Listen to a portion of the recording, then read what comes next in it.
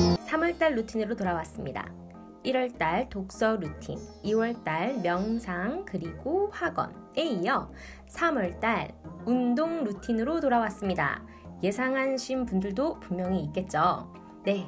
무슨 운동을 하냐고요? 그건 여러분이 그동안 하고 싶었는데 미루고 미루고 미뤘던 운동을 하시면 됩니다. 운동은 자신이 선택하는 것이고요. 예를 들어 저는 그동안 필라테스가 무엇인지 정말 궁금했거든요. 그래서 큰맘 먹고 저는 필라테스를 등록했습니다. 여러분도 여러분이 그동안 하고 싶었던 운동을 선택해서 물론 일주일에 한 번씩 바뀌어도 되고요. 무엇이든 상관없습니다. 도전하고자 하시는 분들은 지금 바로 신청하세요.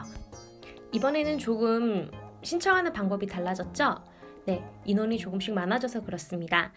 음, 인원이 다 차게 되면 저절로 링크가 닫힐 거고요. 앞, 아래에 있는 링크도 제가 어, 삭제하도록 하겠습니다. 그럼 지금 빨리 신청해주세요.